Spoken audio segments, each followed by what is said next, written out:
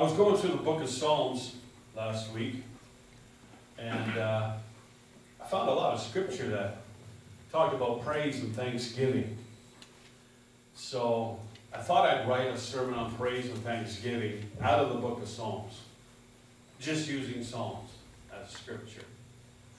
So Psalms are a collection of praises and prayers which come together over a long period in Israel's history, uh, stretching out from David's time until the exile of Babylon. So there's uh, hundreds and hundreds and hundreds of years through different people that wrote the book of Psalms. So a good number of Psalms were first of all personal prayers. A lot of Psalms that were written were personal prayers of people that they brought up to the Lord. Some of them were just personal praises. They just wanted to praise God and write down their praise to the Lord. But many were written for public worship. So I want to go, and I called this sermon, Why We Worship God. It's a good Sunday school question. Why do we think we worship God? And then everybody here would have your own answer. Amen? Because He's good to us, because He loves us, you know, and all the different things we can think of. First of all, I want to just say we worship God because of who He is. Just simply because of who He is. He is the creator of life. Amen? Amen. He's the great and powerful King whose authority is worldwide in scope. He is the authority in every nation, every country, every town, every city, every province in the entire world. He is the King of kings and the Lord of the lords, the Almighty God, the everlasting Father, the Prince of Peace, the great I am, the I am of Abraham, Isaac, and Jacob. He is the Lord Jesus Christ that walks in the land of the living. That's what the Bible says. And he's here amongst us this morning. For two or three gathered by name, there shall he be in the midst of them. Amen? I could feel his presence after the first worship song. Could you? Amen? And we desperately need God's presence in our lives. You know why? Because it contradicts our presence. And it overrides who we are. Amen. Yep. Amen. And we need that. Hallelujah. So, God brings forth his own purposes. And nothing can withstand them. He brings forth his own purposes in the world. And he brings his own forth own purposes in your life. And nothing can withstand them. It doesn't matter if we agree with them or not. It's God's purposes. Psalms 24. You want, if you want to write these down, there's 17 psalms in this scripture. So if you're writing them down, get a big piece of paper. Amen. And you can go home and study them again and, go over them for your own personal benefit. Amen. It says, Lift up your hands, O ye gates, and be ye lift up Psalms 24, 7 to 10. You everlasting doors, the King of glory shall come in. I said, Lord, what are you talking about? What do you mean when you say, lift up your heads, O you gates? I said, hands, but it's heads. And be you lift up, you everlasting doors, and the King of glory shall come in. I believe he's talking about cities and provinces and towns and countries, and nations, to lift up the Lord Jesus Christ in the midst of them. Amen. And that's what we desperately need in this world. If the nations of the world would lift up Christ more instead of themselves, we wouldn't have all these problems. Amen. It says, Who is this King of glory? How many know third day? The group third day. Who is this King of glory? that consumes me with his might. It's a great song. It's about a song that Jesus is consumed by grabbing a hold of you and bringing you into his kingdom. Who is this King of glory? The Lord, strong and mighty. The Lord, mighty in battle. And he repeats the same verse in verse 9 and 10. He repeats this over again. So this is a great question. This is this question that the Lord is really asking because he's asked it twice in a row. It says, You need to lift up the Lord in your province. So we as people, we can't keep silent about Jesus Christ. How can you be silent about the Lord? About the King of Kings and the Lord of Lords who's given you salvation, who's changed your life. Amen? Who's given you hope, everlasting hope. Remember that scripture? Twinkling of an eye, the dead in Christ shall rise, those that remain shall be caught up and be with the Lord forever. Blink your eyes. Boing. That's our glorious hope. One day He's coming to get us. And we're not going to tell our friends. We want them to stay behind. So we have to lift up the King of Glory in our town. Tell people about Jesus. Psalms 29, 1 to 2 says, He tells us as a people to invite Him into our personal life. And this is what it says Give unto the Lord, O ye mighty, give unto the Lord glory and strength. Give unto the Lord glory, due His name. Worship the Lord in the beauty of holiness. What the Lord is telling us to do is to invite Him into our personal life and to worship Him. To give Him praise, to give Him glory that is due His name. That means to tell people about the glory and the greatness of God. Amen? And spread the gospel of Jesus Christ. Amen. The gospel is not a gloomy gospel. The gospel is a joyful gospel. It's a gospel of hope. Amen? Not no pun intended, but it's a gospel of hope. That's what it is. Let's make it the gospel of hope. Amen? Where people can hear the word of God, believe the word of God, and get changed by the power of the word of God. Amen? He's the ruler of all the earth. That's why we need to worship him. Psalms 47 7 says, For God is the king of all the earth. Sing ye praises with understanding. He is the ruler of all the people, of all the earth. Whether they want to believe it or not, He's the ruler of every person in this entire world. Well, why is there so much trouble in the world then? It's called rebellion. It's called unbelief. And it's called God will not impose himself upon people's will. He'll let them do what they please until they call out, God help me. How many here called that out to the Lord? God help me. And did he help you? Yes, he helps you, amen. Because that's a statement of belief. I do believe in God. I do believe he's going to help me. I don't believe the government is going to help me. Although they do, and they're there for you sometimes, but it's not the help that's going to sustain you. It's just a, a facade help. It's there at the moment. God is your everlasting help. He's eternal help. Hallelujah. The Bible says in Psalms 47, 8, 9 that God reigneth over all the earth, over all the heathen. God stilleth upon the throne of his holiness. The princes of all the people are gathered together, even the people of the God of Abraham. So the Bible says he reigns over the heathen. I was a heathen. So are you. Can you say amen? amen? We weren't born a Christian. You had to make a choice. Just because you went to church when you were young didn't make you a Christian. You still have to make a choice. Are you going to believe and ask Christ into your life or not? It doesn't matter. You know, you grew up in a Christian home. You still have to make a choice whether you're going to serve God or not, whether you're going to believe in Jesus or not. It was your choice.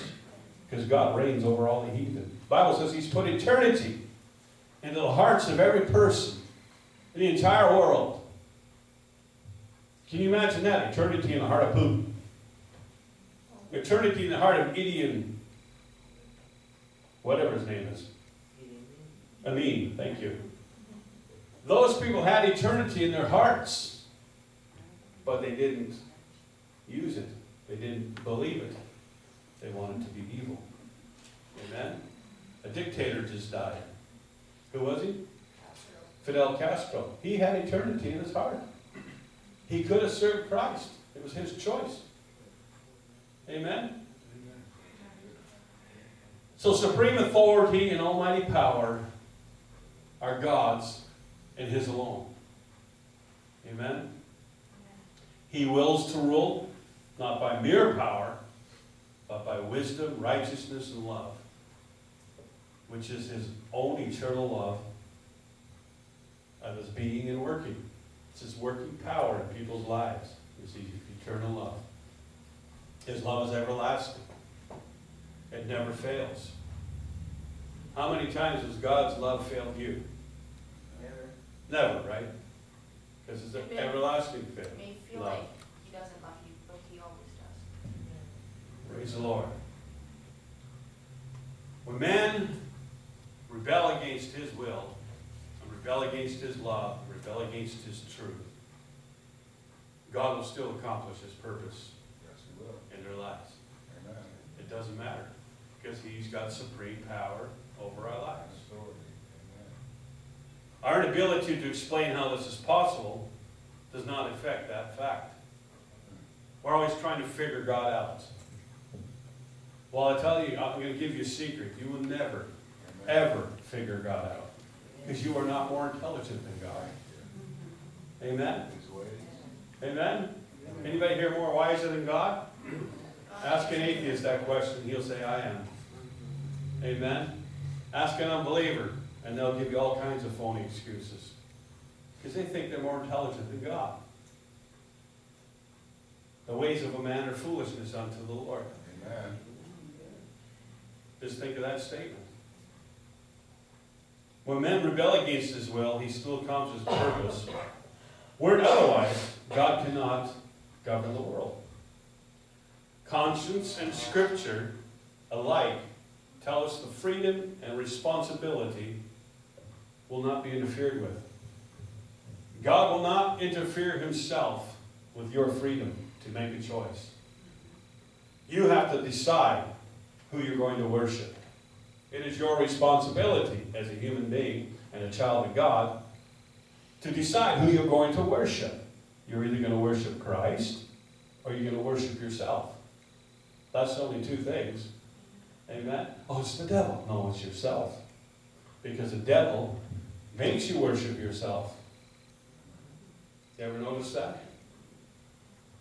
Amen. How many of you ever remember Fonz? Yeah. Remember the Fonz from Happy Days? Oh, yeah. Go to the mirror and go, Hey. hey. I'm the best, man. He'd go, my hair's perfect, I'm perfect. And he'd worship himself in the mirror, you know? So the question is, which kingdom do you belong to? Who are you giving praise and thanksgiving to? That which is against his will, which is nearly merely your own intellect, or the Son of God? Who are we worshiping? Come on. Amen. Do we worship God with all of our heart, mind, and soul, and all that is in us? Come on. Amen. That's a good answer, Jeremy. We try to. And that's all God wants us to do, That's right. is to try to focus on Him all the time. Put your best foot forward. Amen? And keep Him first in our lives. Why? Because He is holy and righteous, Amen. and you're not. Seek him first. Amen. Amen. Who's more holy than us? Holy God. He's holy. He's righteous. He asks us to be holy. He says, Be ye holy even as I am holy. Amen. But we can't be perfect. Come on. Anybody here perfect? No. I want to ask you how you did that. Amen. Your pastor's not perfect. Aww. And neither are you. Praise the Lord for that. Amen. Right. I am going to make mistakes. I'm going to say things that will make you mad. But I got to speak the truth. Amen. I can stand up here and lie to you. I can stand up here and say all kinds of false things to you. I can stand up here and tickle your ears. Because I know the scripture. I know how to do that. But that ain't worshiping God. That isn't giving God glory. That's not thanking the Lord for His word. That's worshiping myself. Amen? Amen. Praise God. Because I am not holy or righteous. I'm only righteous in Him, and He makes me holy. Hallelujah. So we got to believe He is holy and righteous in His dealing with us. He gives us forgiveness, doesn't He? When we mess up and we say, Lord, forgive me, He forgives you, doesn't He? Amen? And. He helps you to go on in life. Yes. So Psalms 32, 5 says, I acknowledge. What do we acknowledge? How do we gain His forgiveness? We have to acknowledge our sin. We have to know that we sinned before the Lord to be forgiven. We can't just say we're forgiven. We have to acknowledge our sin, go before God, say, God, I've sinned against you,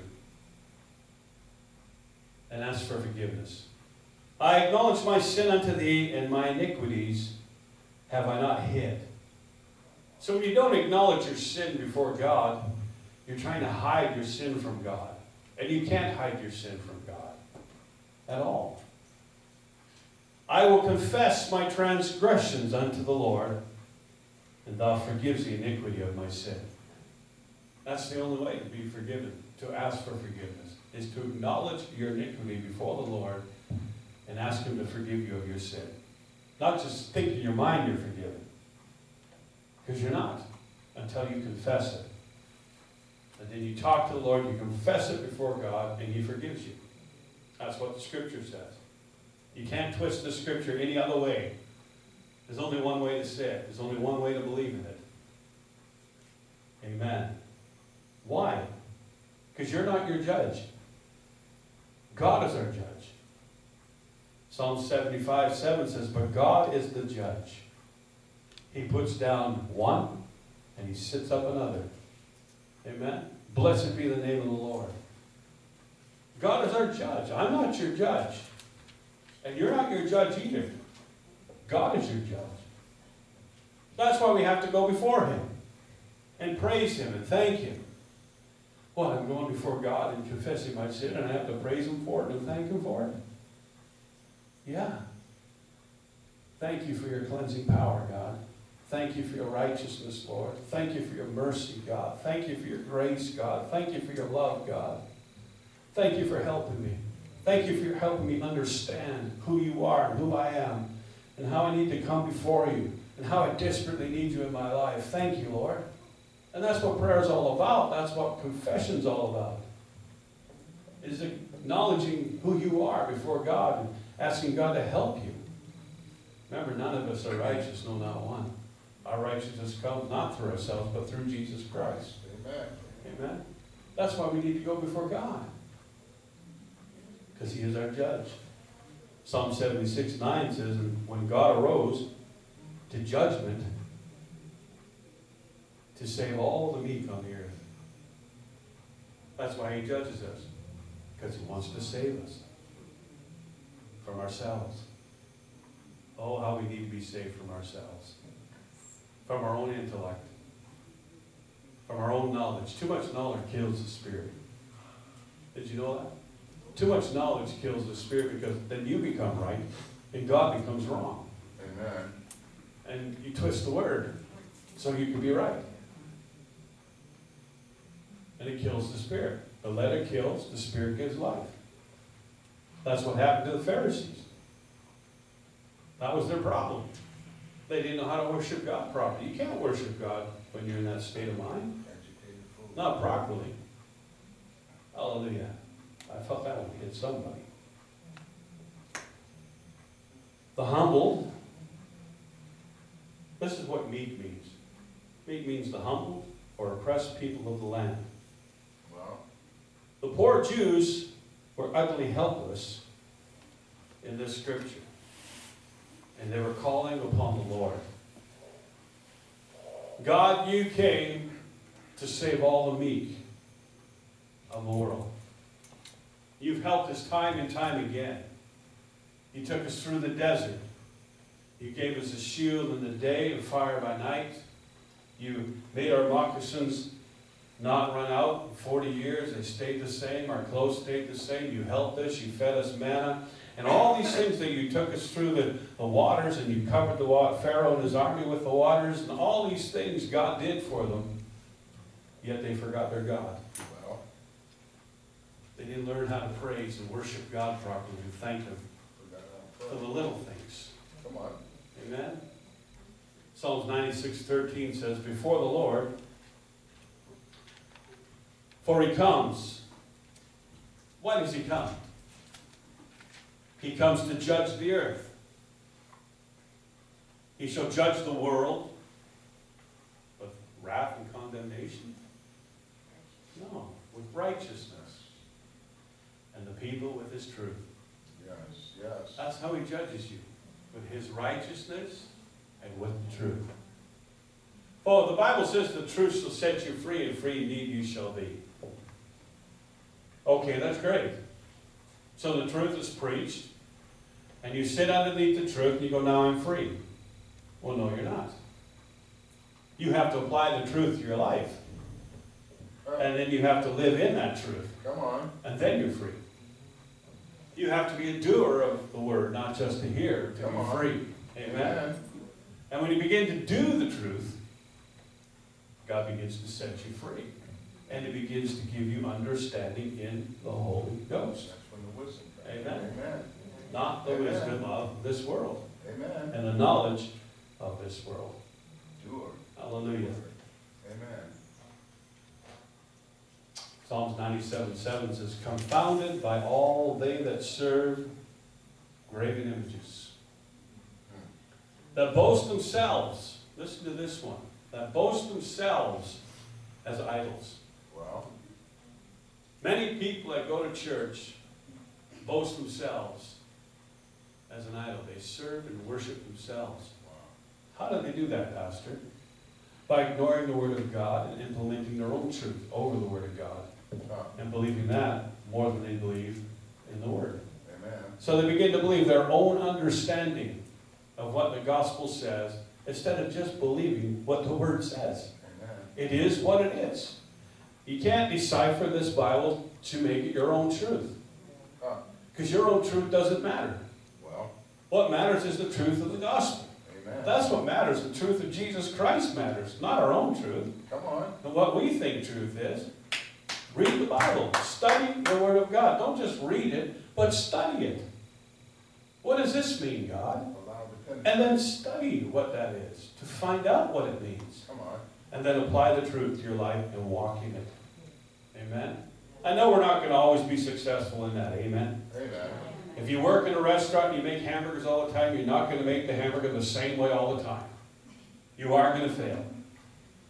But that's why we have repentance. That's why we have God, I'm sorry. When the Word talks to you, as soon as the Word talks to you, you need to go before God and say, God, you've spoken to me this morning. I've been reading this and blah, blah, blah. This is what it said to me, Lord, and this is what's happening, and I need you to help me. I'm sorry. You can have our own personal repentance before God. You don't have to wait to come to church to repent. Spend some time with God and get right with the Lord. Amen? Work out your own salvation with fear and trembling before the Lord. Amen. I like this one. And I say this a lot to people who don't believe in God. So you don't believe in God. It says the heavens declare the glory of the Lord. The heavens declare his righteousness. And all the people see his glory. So if you don't believe in God, just look up. Look at that mountain covered with snow and the sun coming by. What a beautiful picture. The heavens declare the glory of the Lord. And the heavens declares righteousness, all the people shall see his glory. Amen? Amen. Heaven and earth was created by God. It wasn't created by a bang. And out of chaos, everything was in order. Try that in your room next time you clean it. Amen? It's not going to happen. Try that in your fridge next time you want to clean it out. Just shut the fridge door, go, and open it. It's going to be in order. It ain't going to happen. That's how silly that is. Or we came from Parmelia soup out of the ocean. And these fish walked out of the ocean and became man. Amen? Amen. We're prehistoric monkeys. And we lost our ability to climb trees all the time. Our ability to eat bananas 10 a day, and we 10 a year now. And now we're, you know, we're males and females walking the earth. De-evolving. De-evolving. Amen. That's the left that's You know, how, what nonsense, you know? It takes more faith to believe in that nonsense than to believe in Jesus Christ. Amen. Amen? Psalms 99, 3 to 5 says, Let them praise thy great and terrible name, for it is holy. Yes, it is. That's why we praise the Lord. Amen. The king's strength also the king's strength also loves judgment, and thou dost establish iniquity, thou excellent judgment and righteousness in Jacob. Exalt ye the Lord our God, and worship at his footstool, for he is holy. What is this talking about? This is talking about your personal prayer life. Well, getting before God and just worshiping God because He's holy. Get before God and you. How many here don't have problems? So we all have problems. You want to you want to know a little secret I found out about dealing with my problems? I pray and I worship God. I just thank Him for things. I don't ask Him for anything. I just thank Him for things. This morning I was sitting there and I was asking, thanking God for you guys, for you folks. I named every one of you and every person that's not here. And I just thank God for you. Thank you for bringing them into the church. I told my wife, I said, isn't that wonderful how God's blessed our lives? I said, we have met so many great people through our lives, pastoring churches and going from place to place. And God's allowed us to have fellowship with you guys and with other people in other places we've pastored, and that's our blessing. We feel so blessed. So I was thanking God this morning for it. Thank you, Lord, for this person. Thank you, Lord, for Ron. Thank you for Marilyn. Thank you for Reggie. Thank you for Dawn and the family. Thank you, thank you, thank you, thank you. Amen. And I'm just so grateful and naming every one of you before the Lord. Thank you. I felt really good after I did that. Amen. And that's what this is talking about. Worship at his footstool. Worship him at his foot. Make a prayer life. Get before God and start worshiping God. For he's holy. Amen. Amen. And he's worthy. Yet we can never fully comprehend or even understand the completeness of God's judgments or his dealings with us. To study infinity. Because to study infinity requires eternity. Amen? We can never fully comprehend all that God's going to do. So what we simply have to do is be satisfied to say to yourself, I'll just live right before God, worship Him, give Him thanks. And then when He calls me home, then I can ask Him my questions. Then I can ask Him the things I didn't understand on the earth. Amen? Amen. I'll just worship Him while I'm on earth. I'll thank Him for what He's put in my life, and I'll give Him praise for those things, and I'll just try to live as best as I can for Him, and I'll make a prayer life, a prayer of thanksgiving before God. Amen. You should try it. Don't even ask God for nothing. Just go before Him and worship Him and thank Him for what you have. Amen. Grateful heart. And lastly, we need to worship and thank our God because He is loving and caring to all, to all of us. God is especially concerned for the weak and the helpless, Well, the poor, and for His own people. hmm. You can always depend on God's love for you. But you can never, well, I can say never, but you can't always depend on your love for each other. no, you can't, Amen? Because I might say something in here that'll just tick you right off. And then you hate me for months. You'll still come to church. You'll still smile and shake my hand, but you're looking for every fault. You're looking for everything I say that's going to make sure that you're right. Amen? You don't have to be right. God has to be right. Amen? And that's the way it is with everybody else. Somebody says something to you, you come to church for a while, they tick you off. They don't know it. Just you and God know it. And the devil. Oh, did I say that? Oh, it's the devil's joy to keep you away from church. And It is. He loves it because he doesn't want you to hear the word of God. He doesn't want you to grow. He doesn't want you to change. He wants you back. And if he can get you back, he's happy. Amen? So resist the devil and flee from him. Be happy. Serve God. Psalms 33, 18, 19, and 22, I put them all together. It says, Behold, the eye of the Lord is upon them that fear him, upon them that hope in his mercy. Are you hoping in God's mercy? You fear the Lord. Amen. Amen. To deliver their soul from death keep them alive in famine. Let uh, mercy, O Lord, be upon us according as we hope in thee. You know, God's always got his watchful eye upon you, upon those that fear his name. He's always looking over you. Because he wants to preserve his people. He's there for you. He wants to take you home. One day he's coming for you. One day we're going to be at the Lord. So he's preserving you. That's why he judges you. That's why he convicts you. That's why he calls you to change. Yes. Amen? He's preserving your soul.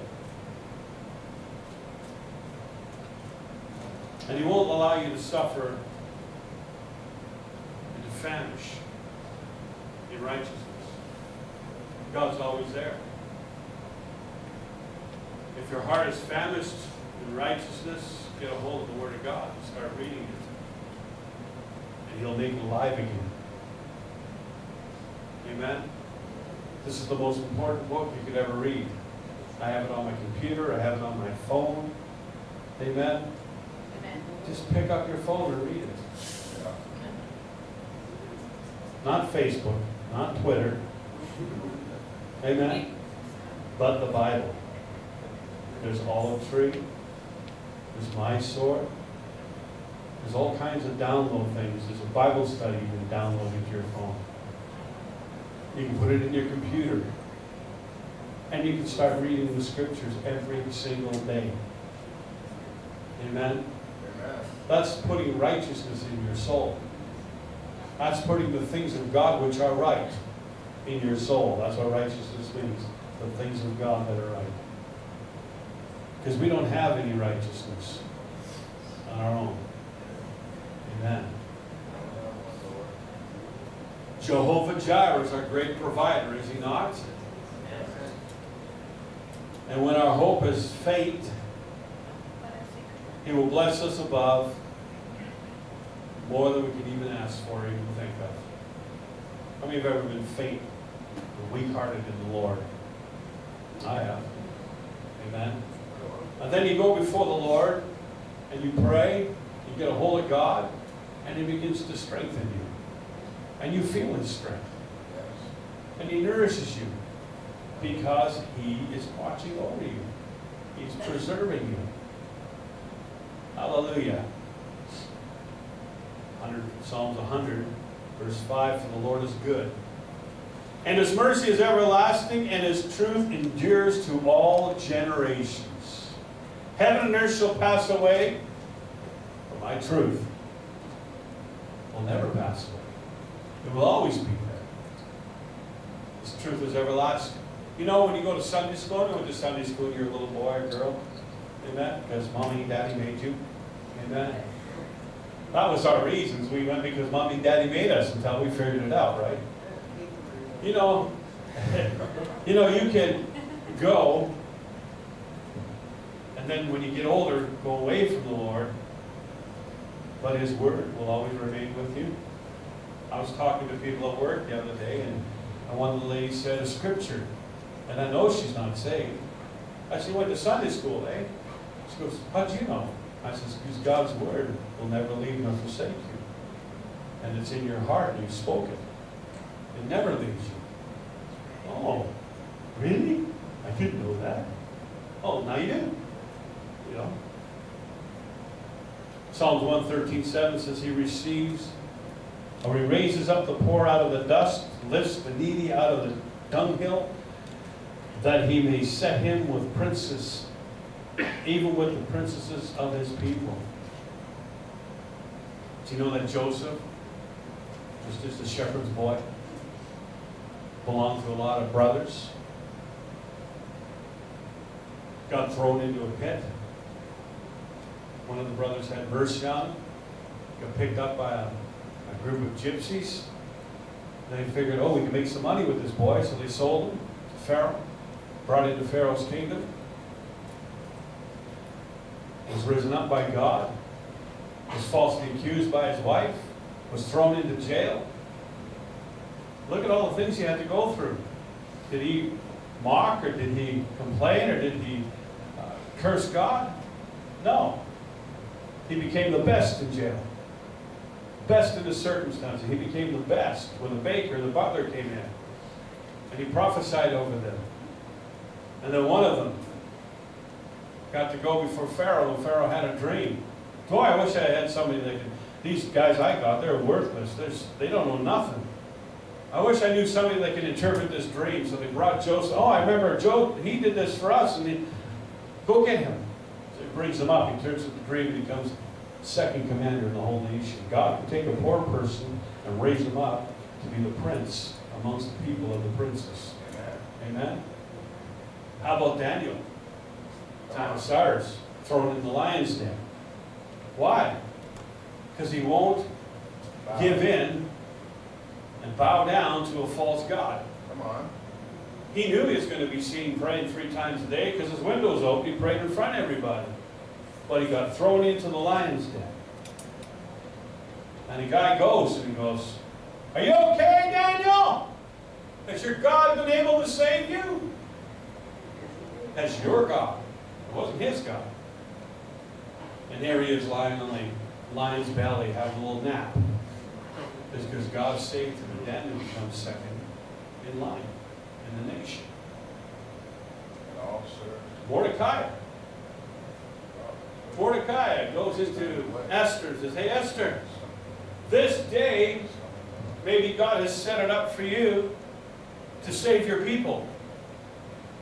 Mordecai becomes second in line because Mordecai did something and he was not rewarded with it. And the person that was trying to kill the Jews, Haman, took Mordecai, put him on a horse, celebrated him through the land.